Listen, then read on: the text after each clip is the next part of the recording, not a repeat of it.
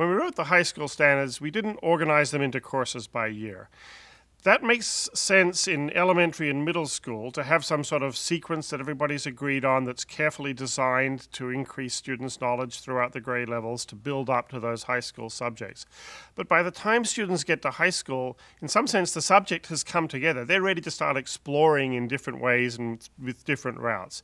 And states traditionally have taken different routes when they uh, organize high school. Some states use a traditional sequence, Algebra 1, Geometry Algebra 2. Some states use a uh, integrated sequence where you just have Math 1, Math 2, and Math 3 with all of those subject areas occurring in each grade level. Some states allow school districts to have flexibility on that, and we thought it was important to respect those choices. And so we thought that we would just present the subject matter as it is and not dictate courses. There's also another more important reason for doing that, which is that it really helps show the subject subject matter of high school mathematics.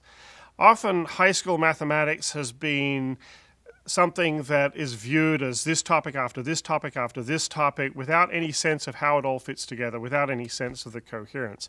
We wanted to present a coherent picture of algebra, for example, where we described practices that were really important that would go across grade levels that students would keep coming back to again and again as they looked at more complex algebraic objects. In geometry, we wanted to describe a coherent sequence there.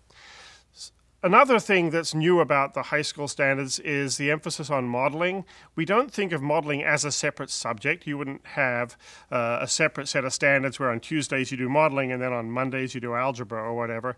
We embedded the modeling standards in all the other subject areas because modeling is about using mathematics and applying it to problems that come from outside mathematics. And that can be done in any of the other areas of mathematics in high school. The other thing about the high school standards is the emphasis on statistics and probability. There's a significant amount of that in high school. We think that's important to prepare students for their future careers. A lot of what people need these days is the ability to interpret complex information, data that is given to them, whether they're in a technical career or not. So the emphasis on statistics and probability supports that need.